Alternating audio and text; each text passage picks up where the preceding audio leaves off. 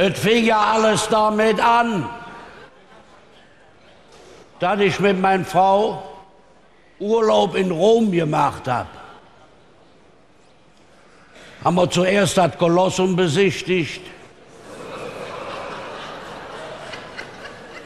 Anschließend waren wir in der sexistischen Kapelle.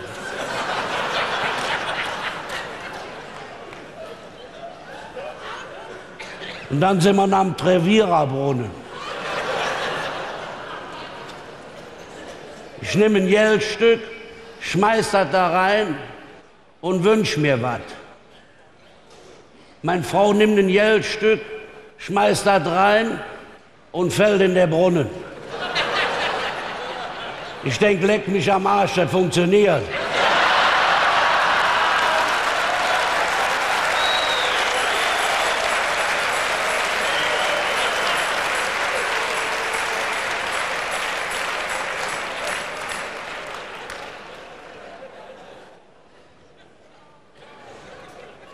War ich meine Frau los. Zurück in die Heimatkaserne hatten sie mich und noch zwei Kumpels als Kommandeursfahrer vorgeschlagen. Ich denke, nee, das willst du aber nicht machen. Mussten wir rein am Stabsarzt. Der erste geht rein, kommt wieder raus, sagt, ich bin untauchlich. So, wie hast du das denn gemacht? Er sagte, ich habe mir 1000 Euro in die Unterhose gesteckt, bin da reingegangen, hat der Stabsarzt gesagt, Hose runter, bücken. Hätte ich die Hose runter mich gebückt, der Arzt die 1000 Euro genommen, hat er gesagt, der Mann ist untauchlich, der hat Hämorrhoiden. ich denke, das machst du auch. Ich denke, 1000 Euro ist ein bisschen viel.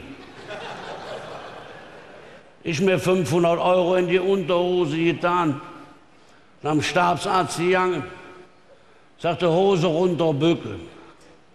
Ich die Hose runter mich gebückt, der die 500 Euro genommen, sagte, der Mann ist tauchlich. Ich sage, aber wieso, ich habe doch Hämorrhoiden. Ihr seht aber zu wenig.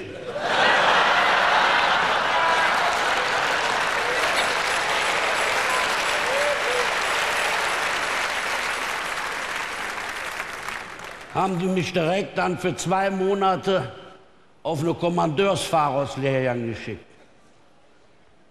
Beim ersten Unterricht hat der Offizier unser Allgemeinwissen getestet.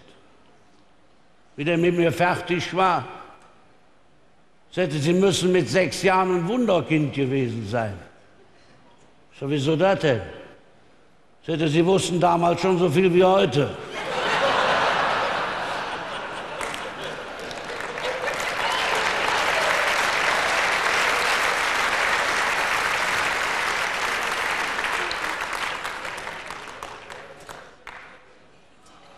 Nach der ersten Fahrstunde, ich komme wieder in die Kaserne, sagt mein Kumpel, na wie war denn?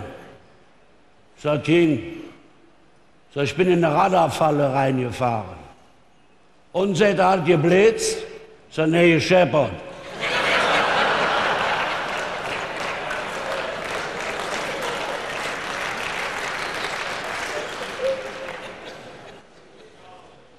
Die zwei Monate waren fast vorbei, hat mich meine neue Verlobte geschrieben.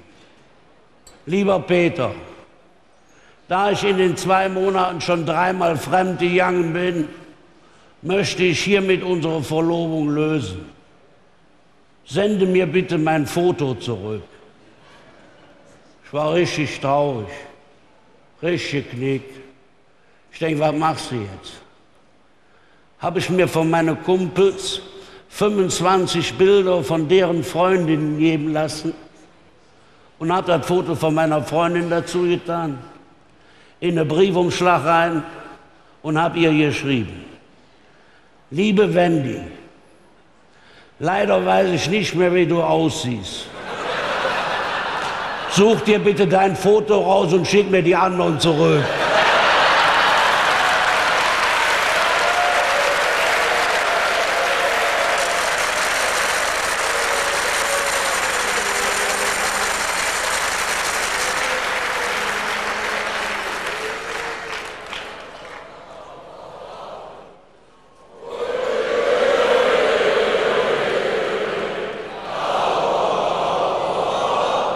Wie ich mit der Ausbildung fertig war, musste ich mich dann morgens direkt im Offizierscasino melden.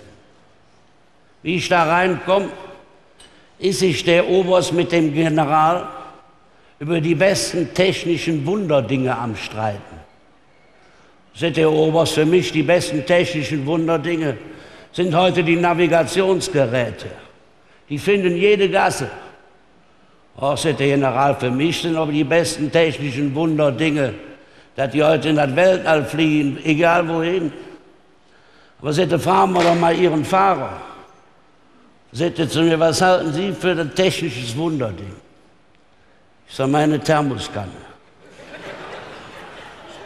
Sagte, wieso? Ich sage, im Sommer kriege ich morgens meine Thermoskanne. Da kommt der eiskalte Tee rein. Mittags trinke ich aus der Thermoskanne eiskalt.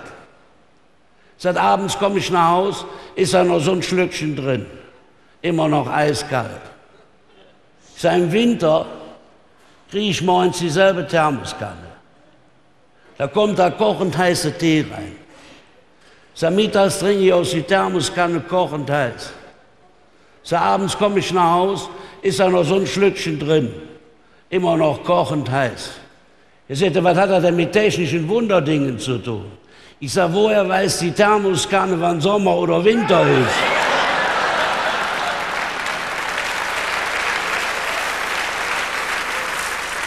Sagt der Oberst zu mir, also mal der Werkstattleiter hat mir erzählt, Sie brauchten drei Nummernschilder. Wieso das denn? Ich sage, eins für vorne, eins für hinten und eins für unten. Wofür ist das denn unten? Ich sage, wenn ich ihn überfahre, dann kann er sich die Nummer merken.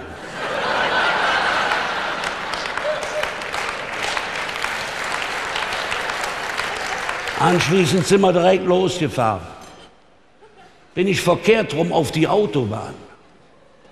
Der war Zeitung am Lesen, hat er ja nicht gemerkt.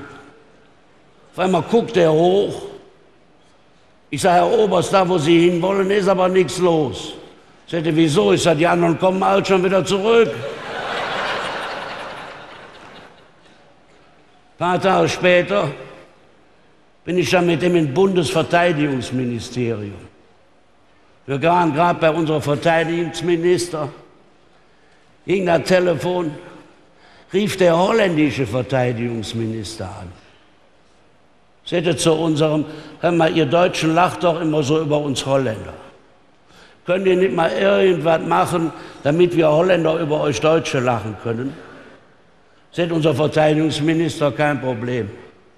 Am nächsten Tag ließ er in der Sahara eine riesengroße Brücke aufbauen. Ganz Holland hätte sich kaputt gelacht. Wir sind wieder bei dem Verteidigungsminister, ging wieder das Telefon, rief der Holländer wieder an. Sagte, wir haben uns köstlich amüsiert. Ganz Holland hat über euch blöde Deutsche gelacht, dass ihr in der Sahara eine Brücke gebaut habt. Aber jetzt haben wir genug gelacht, jetzt können wir die Brücke wieder abbauen. Sagte, geht nicht. Sagte, wieso? Er sagte, die ganze Brücke steht voller Holländer, die versuchen zu angeln.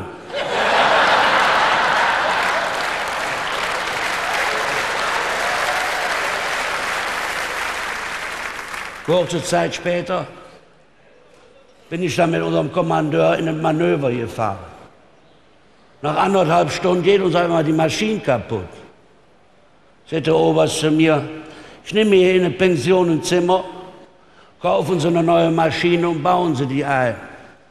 Aber sagte, denken Sie daran, kaufen Sie das Billigste, was Sie kriegen können. Die Bundeswehr hat kein Geld. Wie ich fertig war, habe ich den Oberst abgeholt, ein Auto gestiegen, sind wir losgefahren. Zwei Meter vorne, Meter zurück. Zwei Meter vorne, Meter zurück. Sagte ich, Idiot, was haben Sie denn gemacht? Jetzt war billigste eingebaut, was ich kriegen konnte. Sagte, was war das denn? Ich sage, ein Scheibenwischermotor.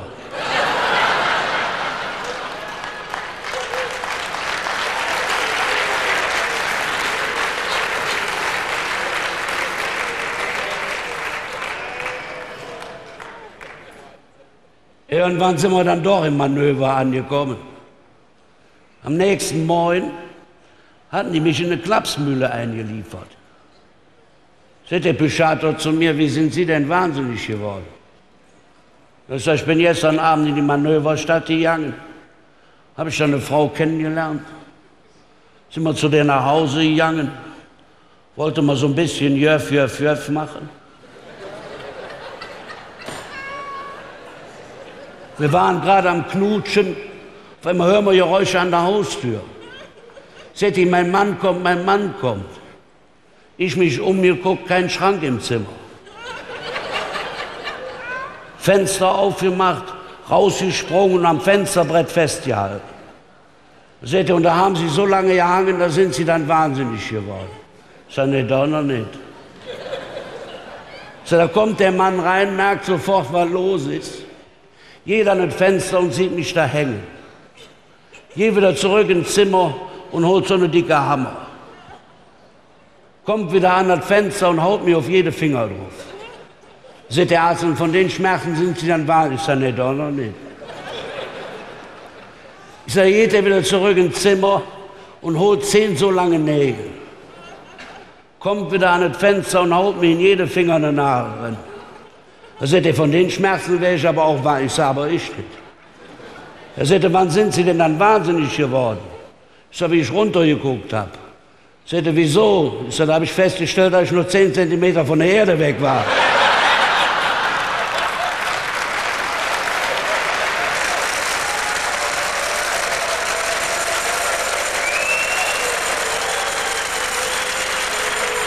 Wie auch das Los des Lebens sei. Dank denen, die euch heiter machen. Nichts ist es Sünder nebenbei, als aber und so sich krank zu lachen. Hello!